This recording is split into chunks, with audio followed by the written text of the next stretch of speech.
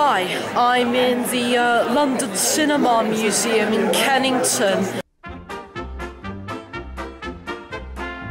And tonight, the um, Oscar winning director and film historian Kevin Brownlow is doing a presentation of 9.5mm silent films.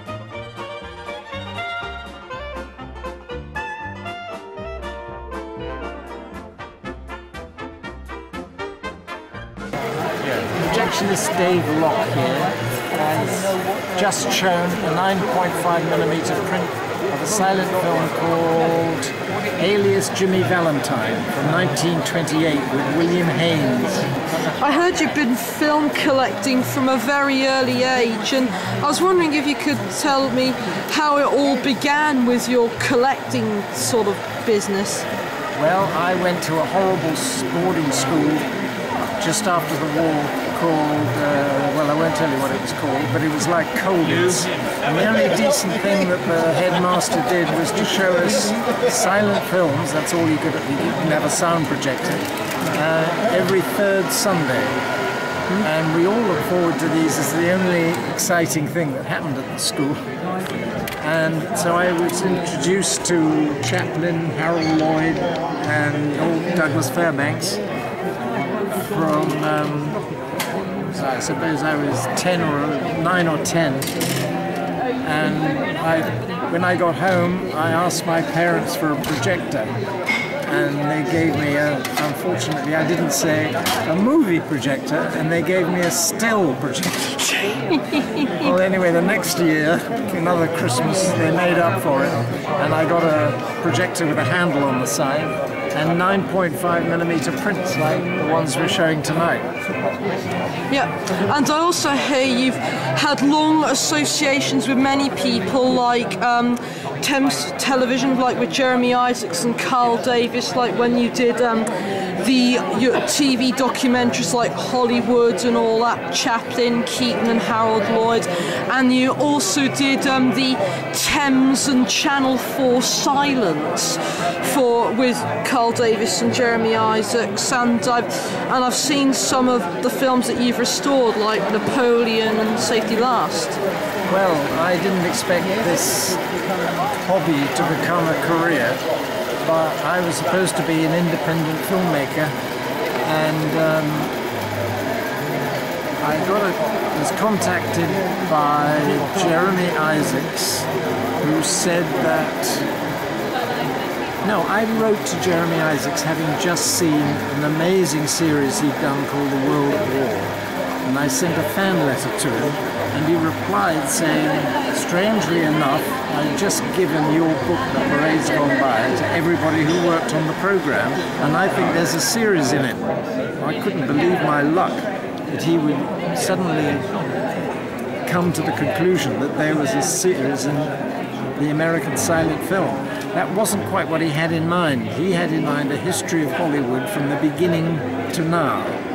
And no sooner had he made that decision then Fox Television came out with a series on the history of Hollywood from the beginning to now. So he said, Can we just concentrate on the silent era? Do you think there's a series in it? And I said, There certainly is.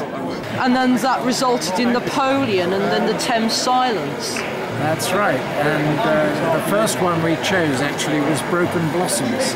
But the producer we had, not Jeremy Isaacs, but somebody else, thought it was too corny.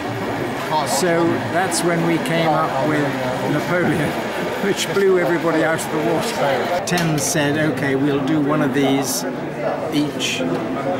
Each time there's a London Film Festival, we'll put on a silent restoration with live orchestra and it went on for 19 years until some new fellow took over at Channel 4 called Michael Jackson and scrapped after 19 years. And I remember thinking when the pop star called Michael Jackson died, God, you got the wrong one.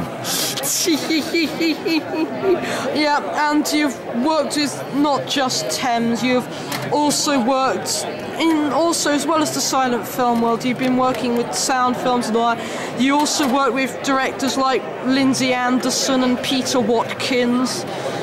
Well, actually, Peter Watkins was my assistant in the cutting room, and uh, he was an amateur filmmaker who was interested in making the same sort of films that I was. And Andrew Mollo, my part, my uh, filmmaking partner, we seemed to be obsessed by the war, possibly because we'd lived through it. Um, and uh, Peter Watkins produced some excellent amateur films, and then um, came up with this idea of we just involved him in a big feature about what might have happened if England had lost World War II. And he then went on to make a film about what might have happened if England had lost World War III. What do you think about silent films being what do you think about silent films being shown today, now that technology has moved on since the Hollywood in my, days? In my youth, in my youth, the great threat came from rather sparse audiences. But as soon as they saw a scene set in the 1920s with a woman in a, a funny hat, they tittered at it. And they tittered all the way through the film and completely did not connect with it. But that, those people have either reformed or passed on somewhere else. And now the great threat to silent films is the musical score. The, the people who finance, sponsor these events seem to think that the only way of getting young people in is to have the music of their generation. It's ah. completely out of sympathy with the era that we're dealing with, and they kill film after film after film. And then DVDs are equipped with these terrible scores. Yeah. Variety with the Tiger Lillies, for God's sake. Thank you very much for the interview, Kevin. Thank you very much. Well, I hope you liked that video. Hopefully, I'll have some more coming. And for any viewers out there who like what I'm doing, good, want to help my channel and for me to keep it up, um, like it, share it, and do subscribe because it'll really help my channel. Thank you.